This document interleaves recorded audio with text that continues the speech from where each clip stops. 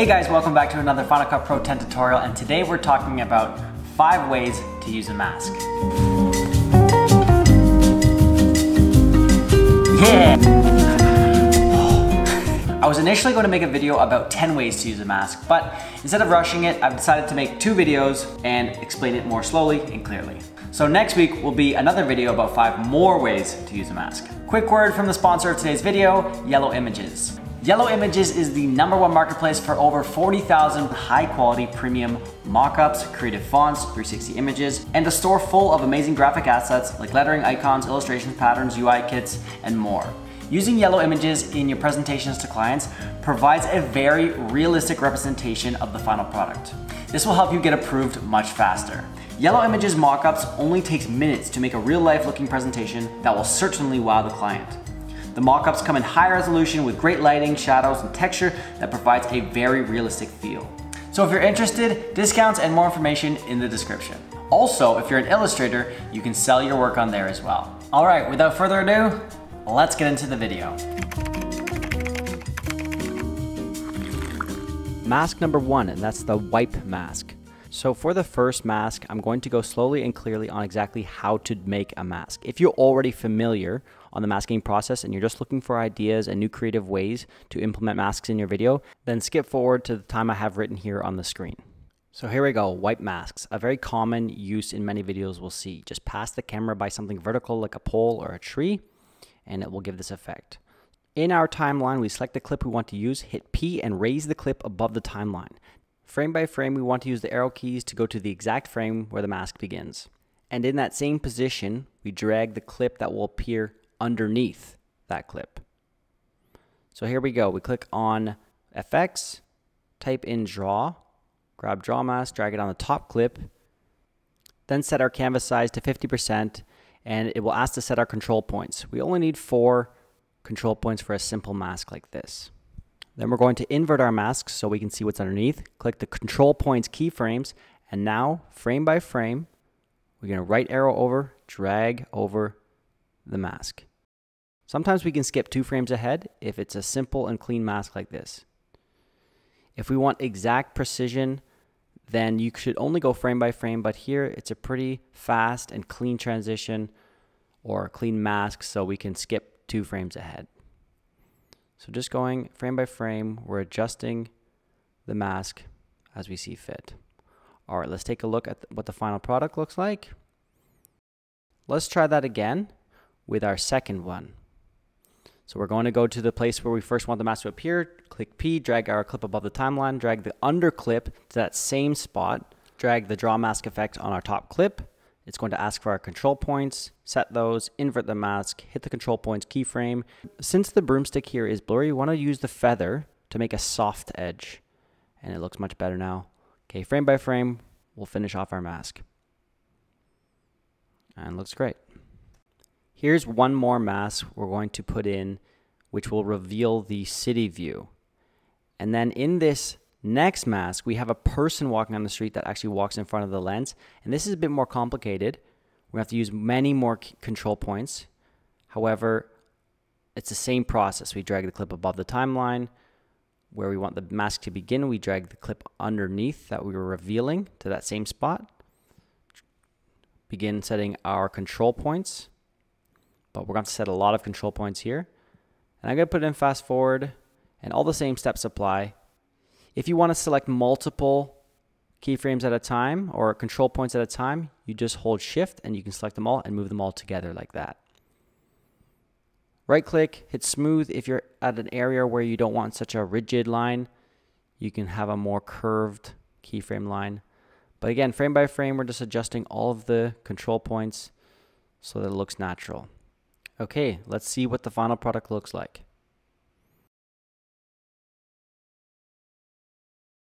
Mask number two, spot adjustments.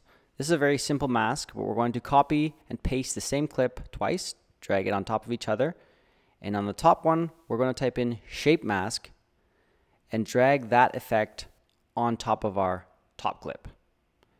So if we click the little film strip here, you'll see here's the shape mask. I'm just going to adjust that down to right over top of our canvas for this particular shot. Drag out the feather, nice and wide. and we're basically masking to the exact same clip on the bottom. So if we hit V, it'll eliminate that bottom clip if we can see what we're looking at. So I want to sharpen the actual painting. So I'm going to click on Effects, type in Sharpen, select it on our top clip. And here's what the effect does. It basically contrasts the midtones. So if I blast it way up, it kind of looks bad. But if I use just a little bit, the default I like, 2.5, click here on the color palette, add some saturation to the master. And on the bottom clip, I want to bring the shadows down. Also, let's select the color curves and just fade that a little bit by bringing our curve up. And that's really now drawing our eye towards the painting. I also want to add a bit more blur effect. So if we just clear that selection and grab the Gaussian blur, drop it on the bottom. The default setting is too intense, so let's hit the film strip and just bring the amount of the blur quite down. So it's just very subtle. And as there we go, we toggle the effect on and off and you can see it's really drawing your eye towards the painting. Mask number three, this is an open mask. So we want to open something up like a book or a door and we reveal a new clip underneath it. So same thing applies. Hit P, drag the clip above the timeline, find out where we want to begin our mask. Hit M to hit a marker, drag that clip underneath to that exact spot. And this is the clip we want to reveal to. So let's begin our mask. So as usual, we drag the draw mask clip on the top clip. And sometimes I like to do a hard cut right in the clip there since we're beginning the mask right on the clip and not off to the side. But everything else is the same as usual. We just invert our mask, hit the control points keyframe, and then frame by frame, we just keep aligning it with the edge. You'll notice it looks a bit wonky because I was skipping frames and I wasn't going frame by frame. Let's do this again here with a book. And we're going to push through the book into the underclip. So as per usual, we select our control points, invert the mask, hit the control points keyframe, go frame by frame adjusting, now to push through, we hit the top clip, hit the transform button, select that keyframe, and then go to the last frame. Here we scale the clip all the ways to make the book disappear. Now we're going to have to make our canvas size smaller in order to make the book fully disappear.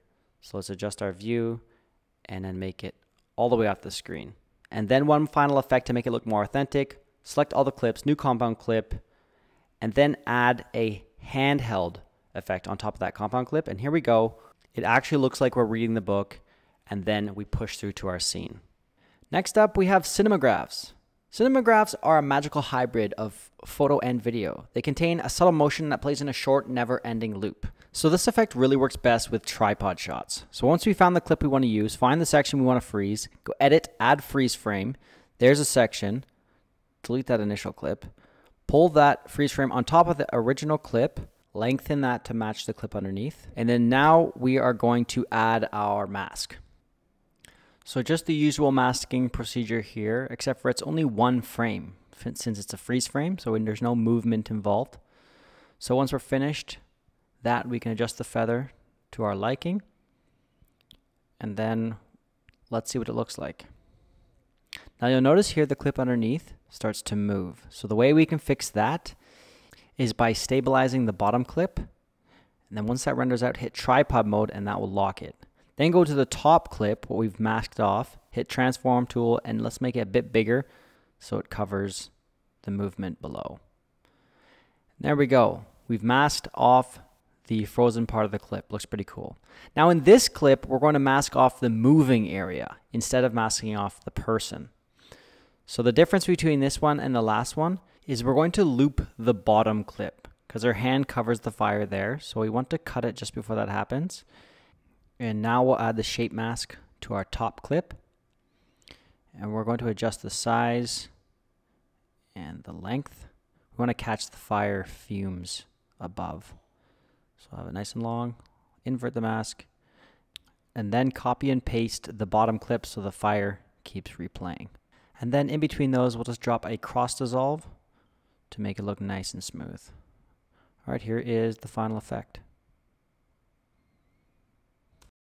All right, let's put something on here. Ready? Just that easy. There we go, that's a simple use of a green screen. Kind of a cool effect and you can apply it pretty much to anything if you have a green piece of paper or if it's a screen that you can just turn green. All right, so the last one we're covering today is green screens. And while it's not technically a mask, the effect often comes off as much cleaner than a mask. So just like masking, drag the top clip over top of the bottom one we want to see. And then what we're going to do is bring down the opacity of the top clip so we can see the bottom clip. And we're just going to hit the transform and make that smaller and line it up with the screen. Now we're going to hit the keyframe button and go frame by frame and just make sure that the bottom clip is somewhat aligned with the green screen. And now just bring the opacity back up to 100%. And from the effects panel, just drop the keyer on the top clip. And there we go. Now you can have your video playing on top of any surface or screen. And I think it looks even better than a mask does. All right, that's it for today's video. I really hope you learned something. If you did, give this video a thumbs up, subscribe, and hit the notification bell so you don't miss the upcoming videos. We'll see you next week for five more ways to use a mask.